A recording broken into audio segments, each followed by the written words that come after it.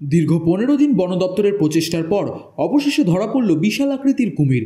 জানা গিয়েছে, মালদহের কালেন্দ্রী মহানন্দা নদীতে দেখা গিয়েছিল কুমিরের আতঙ্ক।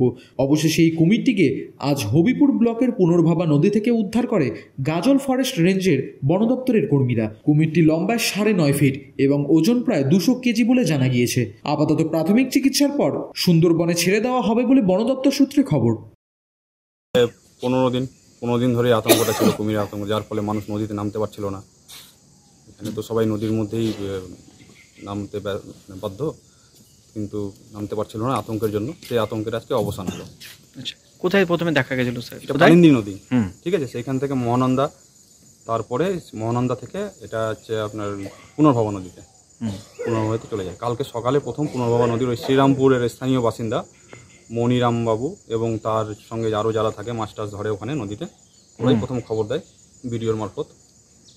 তারপরে আমরা ওখানে গিয়ে পৌঁছাই এবং আমরাও দেখতে পাই কালকে গতকালের সারাদিনের প্রচেষ্টায় আমরা ধরতে পারিনি ওকে জাল টাল ছিঁড়ে গেছিল।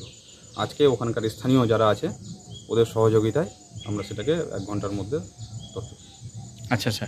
কতদিন স্যার? এটা একটা আতঙ্ক ছিল মনে হয়। তো প্রায় পনেরো দিনের মতো। আচ্ছা আচ্ছা। এবার স্যার এখন কি কি করা হবে?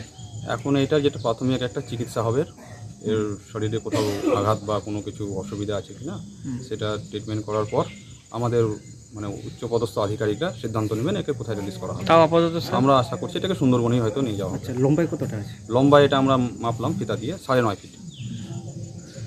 স্যার আচ্ছা কতক্ষণ ধরে লাগল এটা প্রচেষ্টা? আজকের প্রচেষ্টা ওই এক থেকে দুই ঘণ্টা এরকম আচ্ছা আচ্ছা স্যার আপনার নাম? আমি সুদর্শন সরকার ফরেস্ট রেঞ্জার গাড়ি মালদা থেকে পরিতোষ সরকারের রিপোর্ট কুলিক নিউজ।